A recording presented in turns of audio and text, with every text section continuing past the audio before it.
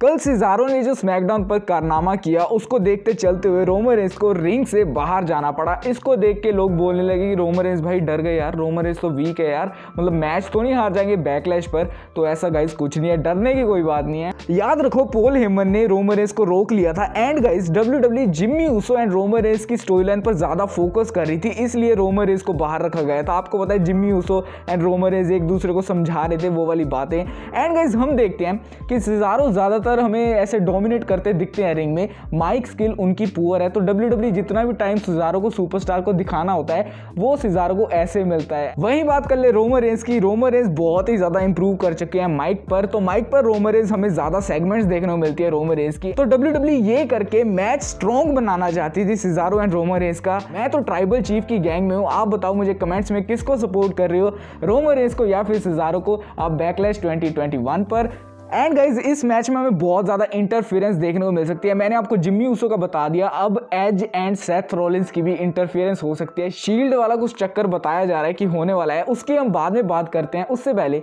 हमारे तीस हज़ार सात सौ सब्सक्राइबर हो चुके हैं। Thank you so much and guys हम एम रखते हैं इकतीस हज़ार सब्सक्राइबर का। तो अगर आप भी मेरी तरह रेसलिंग के फ़ैन है सब्सक्राइब मार देना। चैनल को नोटिफिकेशन बेल ज़रूर ऑन कर देना। सो so, इस मैच में बोला जा रहा है कि सेथ रोलिंस हेल्प करने वाले रोमर रेंस को रिटेन करने के लिए अपनी चैंपियनशिप आपको पता है सिजारो का सेथ रोलिंस के साथ पंगा है एंड सेथ रोलिंस को बिल्कुल अच्छा नहीं लगता सिजारो तो सेथ रोलिंस आ सकते हैं। हम सो so, जो नेक्स्ट रूमर है ये मेरे को ज़्यादा मतलब ट्रू नहीं लग रहा लेकिन एज का भी बताया जा रहा है इस मैच में आने वाले हैं इंटरफियरेंस करने वाले हैं। हमें पता है कि Daniel Bryan versus Edge versus Roman Reigns हुआ था। एज वर्सेज रोमरेंस अभी तक हुआ नहीं है। तो ये भी मैच देखने को मज़ा आएगा अगर एज इंटरफियरेंस करते हैं इस मैच में। So last but not the least Jimmy Uso finally या फिर ज्वाइन कर लेंगे रोमरेंस को या फिर कोस्ट करवाने वाले हैं रोमरेंस को चैंपियनशिप ये सबसे बड़ा, ये सबसे ज़्यादा रूमर्ड है कि ऐसा होने वाला है। लेट्स सी क्या होता है। अगर आप यहाँ तक आ गए हो सब्सक्राइब मार देना, चैनल को नोटिफिकेशन बेल ज़रूर ऑन कर देना। My name is Sohail bye bye